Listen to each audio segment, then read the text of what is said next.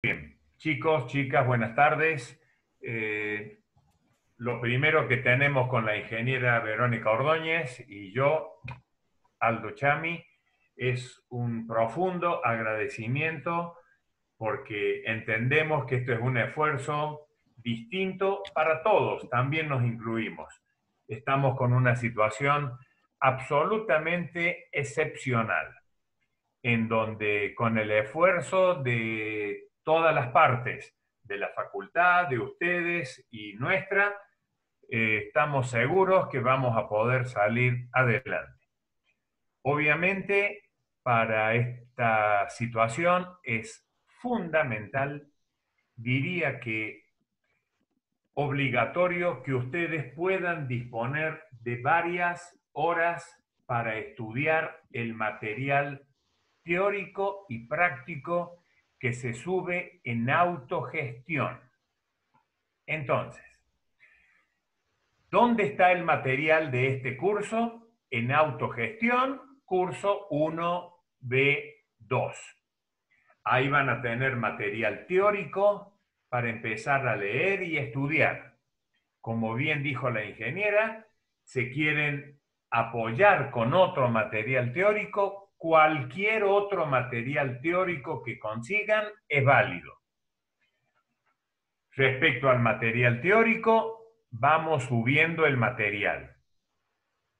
Igual que antes, quieren hacer ejercicios adicionales, todo es válido. Lo que en su momento se va a exigir para los exámenes que vamos a comentar en el próximo bloque es lo que nosotros vamos subiendo a autogestión. Bueno, eh, bienvenidos todos nuevamente y ingeniera, si usted quiere comenzar, por favor. Bueno, eh, hacemos un resumen de lo que está subido en autogestión y que deberían haber resuelto. El primer trabajo práctico corresponde a entornos, intervalos, eh, inecuaciones, valor absoluto. Eso ya está eh, subido a autogestión, está explicado eh, con PowerPoint con audio, algunos ejercicios puntuales y, los ejercicios que eh, ustedes deben resolver. Posteriormente se subió el práctico de funciones, cómo determinar el dominio, cuáles son las restricciones para plantear, para calcular el dominio en cada una de las eh, diferentes clases de funciones y también se explicó eh, funciones algebraicas fraccionarias, cocientes de polinomios, cómo eh, llegar a la gráfica de la función, haciendo un estudio del dominio, el corte con los ejes, los signos y la gráfica. Allí también tienen el listado de los ejercicios a resolver. Acá en esta clase lo que vamos a hacer es profundizar sobre algunos tipos de funciones, teniendo en cuenta que uno de los ejercicios centrales del primer parcial es graficar una función. Ustedes tienen que ser capaces de hacer un estudio de la función y llegar a su gráfico. Entonces acá vamos a ver algunos puntos característicos que deben tener en cuenta para graficar una función en particular. Muy bien. Con respecto al material teórico, todos ya lo tienen, está subido en autogestión. Eh, lo primero que se subió era, fue, perdón, la génesis del número, después eh, la clase de intervalos y entornos, después la clase de par ordenado, producto cartesiano, para concluir en el concepto fundamental, funciones. Bien. sí, ingeniera, perdón. ¿Comenzamos? Sí, por supuesto. Bueno, entonces, dentro del capítulo 2, lo que vamos a profundizar en esta clase es gráfica de funciones. El primer conjunto de funciones que se pide graficar son las funciones polinómicas. La función lineal, la función cuadrática, esas ya se han visto eh, durante el curso de ingreso, así que esas no las vamos a abordar. Si bien la función cúbica también la tienen que haber visto, y la función de cuarto grado, no sé, ahí no estaría segura si la han desarrollado, pero eh, para cualquiera de estas dos tenemos en cuenta las siguientes, eh, los siguientes puntos característicos.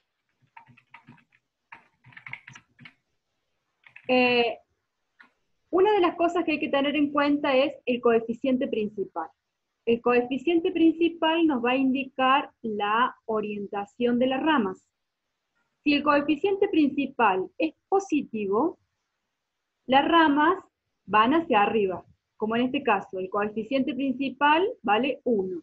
Por eso las ramas en la gráfica vemos que vienen de abajo y van hacia arriba.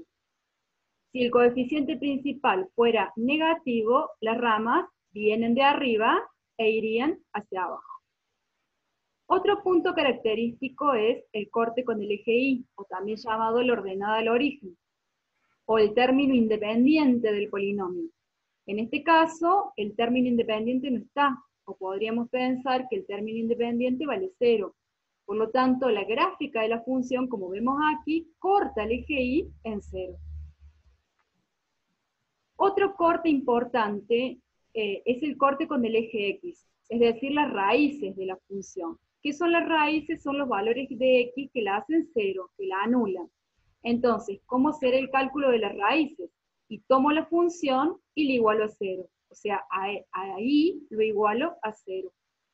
En este caso, es factible sacar x cuadrado factor común, aplicar el primer caso del factoreo. Para que un producto sea igual a cero, necesariamente uno de estos dos factores tiene que ser cero. Si el primer factor es el que debe anularse, recuerden que acá tengo una eh, ecuación de segundo grado. ¿Cuántas soluciones tiene? Dos. Por eso hay dos raíces iguales a cero. Si el segundo factor tiene que ser cero, es porque la x tiene que valer menos 9. O sea que esta función tiene dos raíces iguales a cero y una raíz igual a menos 9. Tiene dos raíces reales iguales y una raíz real distinta. Entonces, en la raíz distinta, la gráfica va a cortar al eje x. Si acá yo en el eje x leo menos 9, ahí le corta a la función, corta la función al eje x. Cuando las raíces son iguales, y iguales y pares, la gráfica es tangente al eje x. O sea, toca y vuelve, la gráfica rebota. Si acá hubiésemos tenido raíces iguales, pero en número impar, si hubiésemos tenido tres raíces iguales, en ese caso la gráfica hubiese cortado al eje X. Pero cuando son iguales y pares, la gráfica es tangente al eje X. Entonces, todos estos datos me permiten llegar a esta gráfica. El corte con el, el eje Y, los cortes con el eje X, la orientación de las ramas me permiten hacer una gráfica aproximada, porque este punto que vemos aquí arriba se llama el máximo de la función. Para poder calcular el máximo, necesitamos de otra herramienta que es la derivada, que todavía no la conocemos. Entonces, lo que pretendemos por el momento es una gráfica aproximada. Para mejorar esta gráfica, ya vamos a ver que hay otras herramientas que me permiten hacer otro tipo de cálculos. En esta función, que también es de tercer grado, la diferencia con la anterior es que cuando yo quiero calcular las raíces, y en este caso también es factible el primer caso del factoreo, puedo sacar dos factor común, me queda aquí un polinomio nuevamente de tercer grado. No hay una fórmula que me dé las tres raíces que necesito en este caso. Entonces, ¿cómo hago para encontrar las raíces? Uno de los caminos es el teorema de Gauss-Ruffini. Este teorema ustedes sí lo han visto en el curso de ingreso. Lo vamos a repasar. ¿Qué tengo que hacer? Buscar los divisores del término independiente, es decir, buscar los divisores de 6, que son 6, 3, 2 y 1. Buscar los divisores del coeficiente principal. El coeficiente principal vale 1. Y luego armar cocientes divisores del término independiente sobre divisores del coeficiente principal. En este caso no se arman fracciones, porque si yo hago 6 dividido 1, me sigue quedando un entero. Pero si acá, en lugar de ser 1, hubiese sido otro número, supongamos 5, entonces hubiera armado las fracciones 6 quintos, 3 quintos, 2 quintos, y tendría acá un montón de valores más. ¿Para qué me sirven todos estos valores? Todos esos valores son las posibles raíces de la función. ¿Qué tengo que hacer? Aplicar la regla de Ruffini para determinar cuál de todos esos valores es raíz. Entonces, dibujo una cruz desplazada. En esta posición pongo los coeficientes del polinomio completo y ordenado en forma decreciente. Fíjense que el polinomio está ordenado en forma decreciente, pero está incompleto. Tiene la potencia cúbica, le falta la potencia cuadrática, tiene la lineal y tiene el término independiente. Entonces, esa que falta la completo con ceros. Y elijo de todo este grupo, en este caso yo elegí el número 3, pero podría elegir cualquiera. Aplico Ruffini. ¿Qué consiste Ruffini? Bajo el primer término, luego multiplico 1 por 3, 3, lo pongo en la columna que sigue, sumo y voy así, efectuando productos y sumas hasta llegar al último valor. El último valor representa el resto de esta división. Si el resto es nulo, el valor que yo propongo es raíz del polinomio. O sea que en este caso, 3 es una de las raíces de este polinomio. Cada vez que yo aplico la regla de Ruffini, disminuyo en un grado el polinomio. Por lo tanto, el polinomio cociente en este caso será de segundo grado será un x cuadrado más 3x más 2. Para este polinomio de segundo grado sí hay una fórmula que me da las raíces. Entonces de allí saco el x2 y el x3 que necesito. Entonces tengo tres raíces, tres raíces reales distintas, que lo veo acá en la gráfica, menos 2, menos 1, 3. Como son distintas, la gráfica corta al eje x en esos puntos, el coeficiente principal es positivo, por eso las ramas vienen de abajo y van hacia arriba. Y el término independiente es menos 12, o sea que el corte con el eje Y, el que leo ahí, es menos 12. Ingeniera, eh, les quiero comentar también a los alumnos que seguramente ellos disponen de alguna calculadora que permite, ingresando la ecuación de tercer grado, eh, prácticamente en segundos, les va a dar las tres raíces, en este caso x1, x2 y x3. Conclusión, para el cálculo de raíces pueden usar lo que muy bien planteó la ingeniera Verónica o eh, cualquier otro mecanismo que ustedes sepan o tengan a mano. Sí, genial. Bueno, pasamos a otro tipo de función, función exponencial. Una función exponencial es del tipo a a la x, con a positivo y a distinto de 1. ¿Cuáles son los puntos característicos en esta función? Si a es más grande que 1, la función es creciente. Veamos acá en, esta, en este gráfico yo tengo la función f que es 7 a la x. 7 es más grande que 1. Por lo tanto, la gráfica de esta función que está acá en rojo es creciente.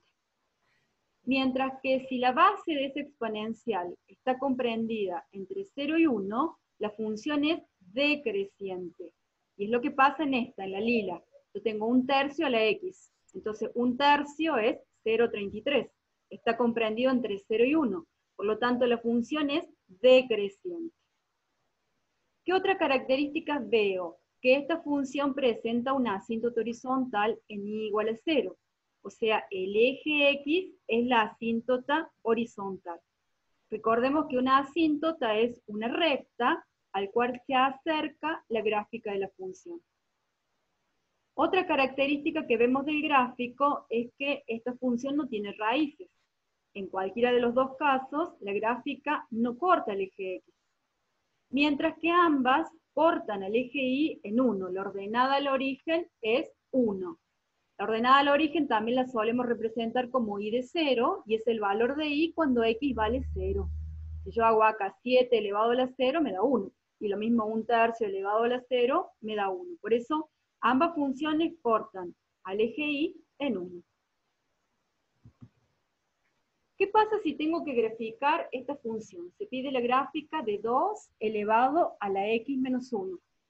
Allí en el exponente ya tengo una diferencia con el caso anterior. Entonces, acá vemos la explicación. Si yo tengo a elevado a la x más o menos k. x más k desplaza la gráfica de la función k unidades hacia la izquierda. Cuidado, si tengo suma, hacia la izquierda. Y si tengo resta, la voy a desplazar hacia la derecha. Entonces, ¿cómo hago para graficar esta función? Primero grafico 2 a la x, teniendo en cuenta que dijimos recién, si la base es más grande que 1, la gráfica de la función es creciente. Entonces, va a ser esta, la que tengo acá en anaranjado. Corta el eje y en 1, tiene las mismas características que nombramos recién. Y a partir de esta gráfica yo hago un desplazamiento, en este caso, una unidad hacia la derecha. Entonces, fíjense, observemos ese punto, el 0, 1. Si yo lo desplazo una unidad hacia la derecha, se va al 1, 1. Es como si yo pudiera levantar esta gráfica y correrla, trasladarla una unidad hacia la derecha.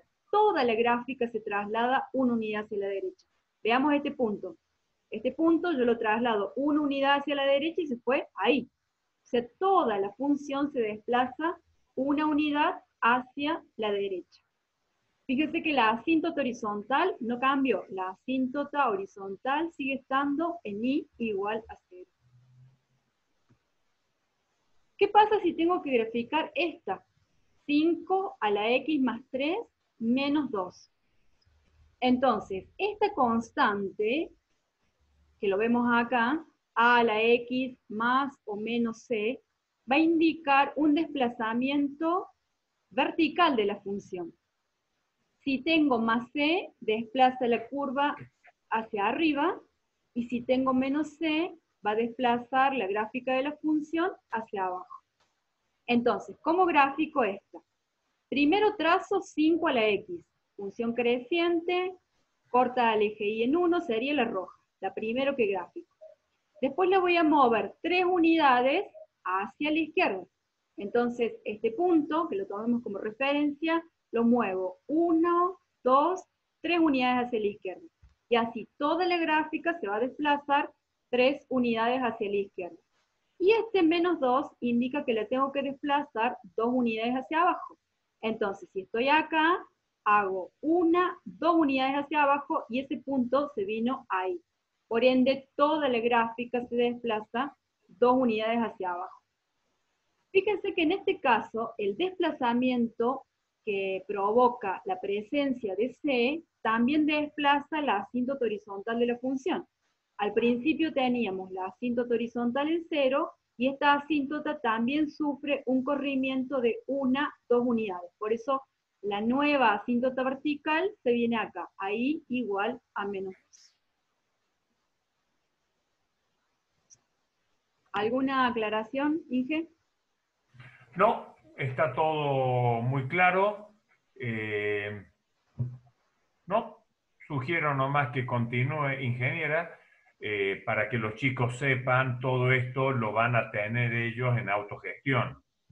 Así que lo van a poder eh, estudiar diapositiva tras diapositiva. Perfecto. Pasamos a otra función característica que es la función logaritmo. La función logaritmo se define como logaritmo en base a de x, también con a positivo y a distinto de 1. Si a es mayor que 1, la función es creciente. Acá tenemos dos gráficas que, responden al logaritmo en base 3 de x, la que está en morado, y como tengo base 3, la función es creciente. Mientras que la que está en rojo es logaritmo en base un cuarto de x. Entonces, como la base, un cuarto, 0,25, está comprendido entre 0 y 1, la gráfica de la función podemos ver que es decreciente. Esta función presenta una asíntota vertical. La asíntota vertical está en x igual a 0. La asíntota vertical coincide con el eje y. Las raíces, es decir, el corte de la función con el eje x, como vemos, tanto la morada como la roja, corta el eje x en 1. ¿Cómo se calculan las raíces? Haciendo el argumento de la función. ¿Y cuál es el argumento? Esto, lo que está entre paréntesis, se llama el argumento. El argumento igual a 1. Y como vemos, ninguna de las dos corta el eje y, sea que esta curva no tiene ordenada al origen. ¿Cómo grafico esta función? Logaritmo en base un tercio de x menos 5 más 2. Tengo que seguir el mismo criterio de desplazamiento que se aplicó para la gráfica de funciones exponenciales. Entonces, ¿qué es lo primero que grafico? Grafico logaritmo en base un tercio de x. Dijimos recién, si la base está comprendida entre 0 y 1, la función es decreciente y va a cortar al eje X en 1. O sea que la primero que gráfico es la verde. A partir de esta gráfica la voy a desplazar 5 unidades, en este caso hacia la derecha. Entonces, me voy a parar en este punto característico y la voy a desplazar 1, 2, 3, 4, 5 unidades. ¿sí?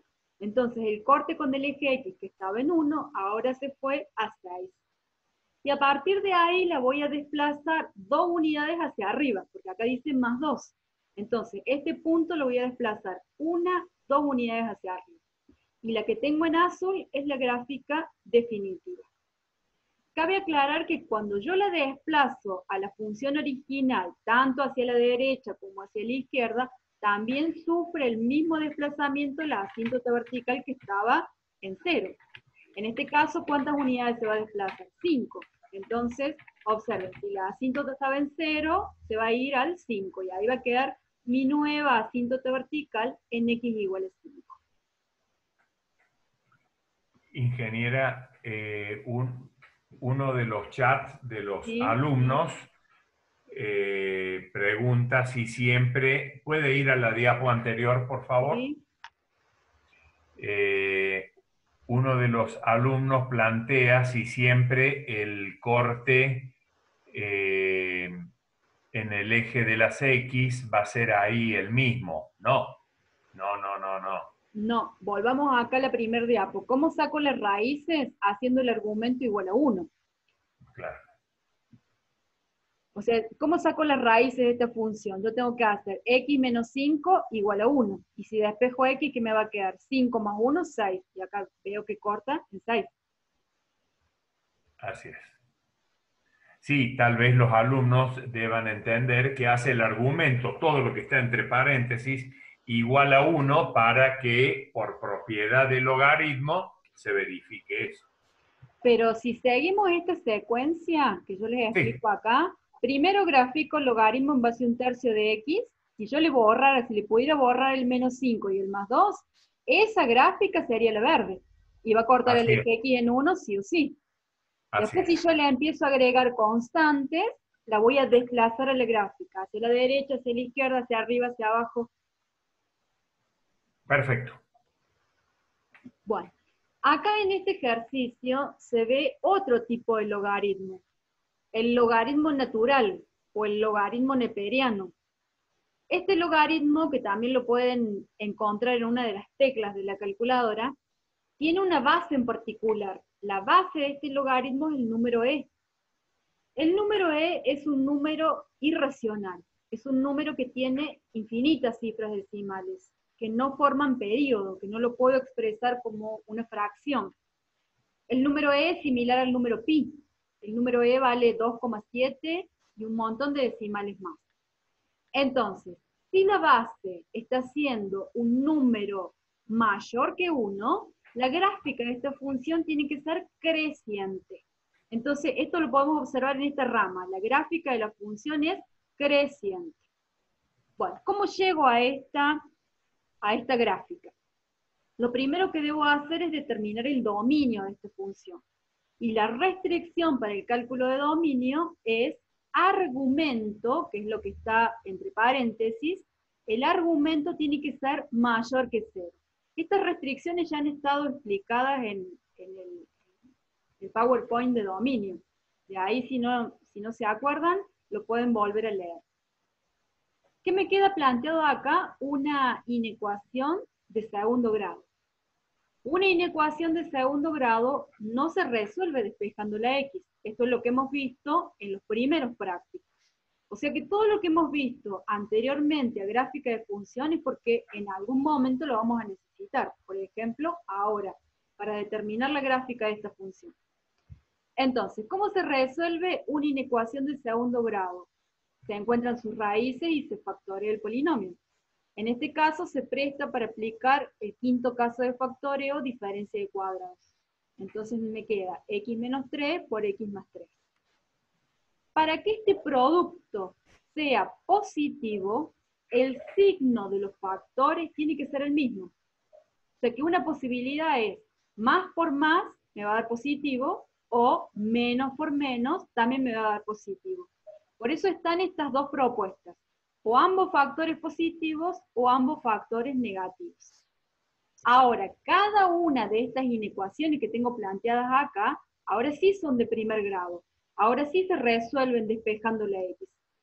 ¿Qué tengo que hacer? Despejar la x de acá, despejar la x de acá, y graficar, trazar la recta real y verificar dónde se cumplen esas dos inecuaciones al mismo tiempo. Y de ahí encontrar el conjunto solución.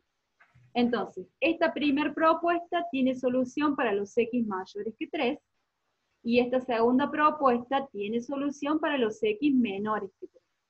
Entonces, el dominio de esta función será la unión de estos dos intervalos, si lo quiero plantear como intervalos, o decir que x tiene que ser menor que menos 3 o mayor que 3. ¿Y dónde visualizo el dominio de una función? Sobre el eje X. Si nos venimos acá a la gráfica, ¿cuál es el dominio de esta función? Y por un lado dice los menores que menos 3, o sea que desde menos infinito hasta acá, hasta menos 3, sin incluir el menos 3. Y desde 3, que debe ser este valor, hasta el infinito. Ahí puedo encontrar la gráfica de la función. Observen que entre menos 3 y 3, es decir, entre las dos asíntotas verticales, no hay función. Entonces, una vez determinado el dominio, lo que tengo que saber es dónde la función corta al eje X. El corte con el eje X, como vimos recién, se calcula haciendo el argumento igual a 1. Y de ahí puedo encontrar estos dos valores. Raíz de 10, que tiene que ser ese punto donde la gráfica corta el eje X, y menos raíz de 10, que es este otro punto. ¿Qué característica tiene la gráfica de esta función? Es una función par.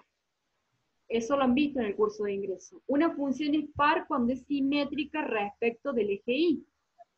Fíjense que esta rama es la imagen especular de esta otra rama. Entonces, si yo conozco una parte de la gráfica de la función, por simetría puedo sacar la otra. Ingeniera, sí, eh, acá le quisiera hacer algunas aclaraciones conceptuales a los alumnos con respecto a las clases teóricas que ya tienen y que eh, uno presupone que la han leído y la han estudiado. ¿Puede ser? Sí, sí, sí. Eh, a ver, La gráfica tiene dos ramas. Las estamos viendo ahí de color anaranjado. La ingeniera plantea que en el intervalo menos infinito menos 3, ¿lo puede mostrar usted con el cursor, ingeniera? Eso mismo. Bien, ahí hay función. ¿Por qué? Porque el concepto de función era para cualquier valor de la variable independiente x debe existir un único valor en su imagen. en su recorrido, o sea, en el eje de la Y. Ingeniera, ¿usted se puede posicionar en menos 5, por favor? Para ese valor menos 5, que ya estamos diciendo que sí pertenece al dominio, yo trazo una recta vertical, la ingeniera la va a indicar ahora, esa recta vertical, ven que corta ahí en un punto, significa que cortó en un solo punto, ahora nos vamos al eje de la Y, y ahí vamos a leer supuestamente 2,8. Esa es la imagen para el valor menos 5. Vamos del otro lado. Ubíquese, por favor, ingeniera, en 10. También sabemos que 10 sí pertenece al dominio, porque era el otro subintervalo, el que está comprendido entre mayores que 3 hacia infinito. En ese mismo punto, esa recta, esa condición recta vertical, Ahora la ingeniera va a desplazar el cursor y ven que va a cortar en un punto ahí arriba, ahí. Corte en un punto, repito, en un punto. Si cortase en dos puntos no es función. Una vez que cortó en ese punto, ahora la ingeniera lo va a desplazar al cursor hacia el eje de la Y y ahí vemos que la imagen de menos 10 aproximadamente 4,8. Debe quedar claro entonces ese primer concepto de función. Para un único, perdón, para un valor de x, variable independiente, un único valor de y.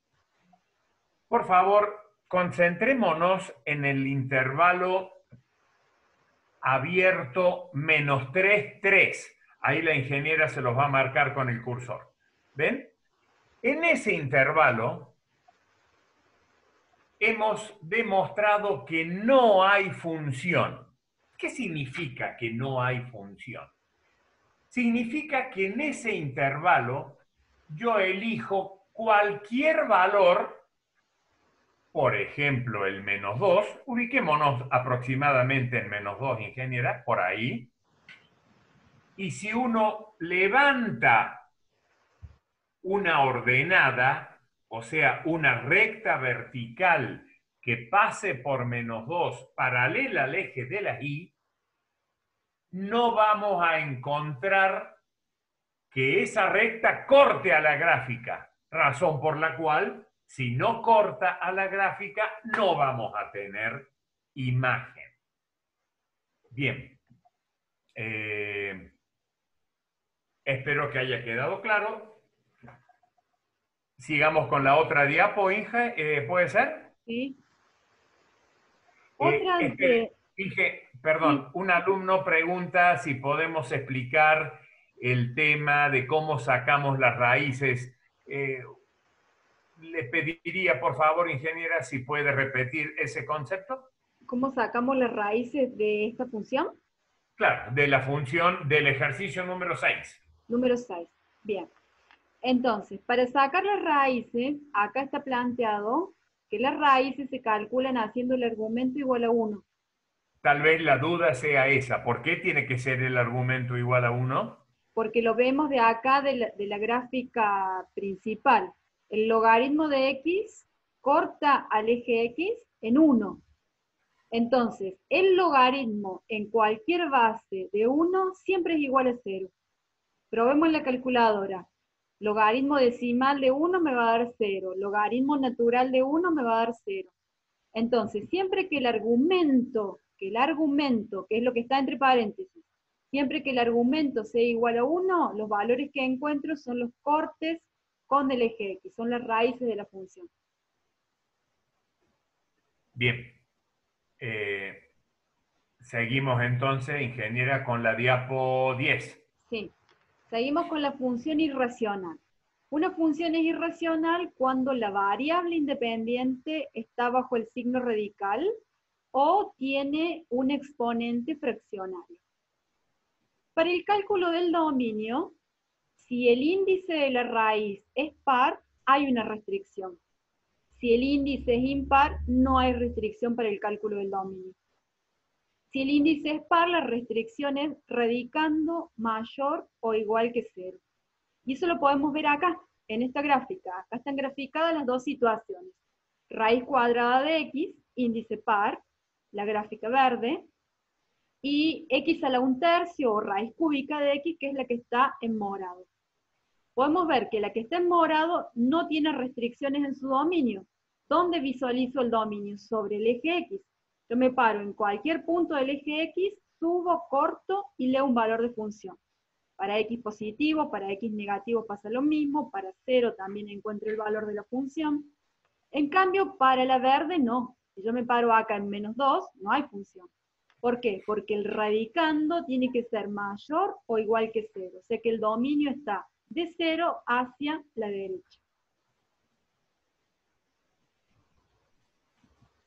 Nos queda eh, un minutito.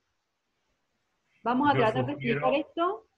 Sí, eh, sugiero, ingeniera, si le parece, que vamos respondiendo dos cositas. Bueno, hasta que y después nos reconectamos. Hay un alumno que me preguntó si el libro de Capagli es bueno. Eh, la respuesta es, nosotros no lo recomendamos. repito, eh, ya vamos a hablar en el otro bloque y si es necesario en un próximo bloque sobre el libro, eh, la venta, distribución, etcétera, etcétera. Estoy viendo el último chat. Eh, quedan, bueno, este, listo. Hay una alumna que pregunta si la asíntota vertical es siempre cero. Eh,